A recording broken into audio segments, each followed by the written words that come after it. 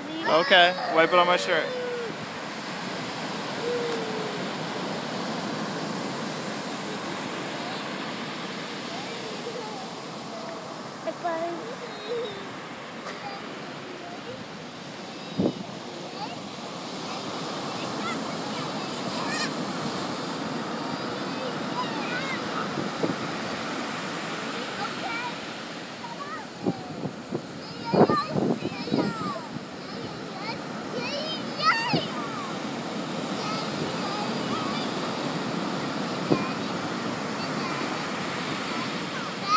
Yes, sweetie.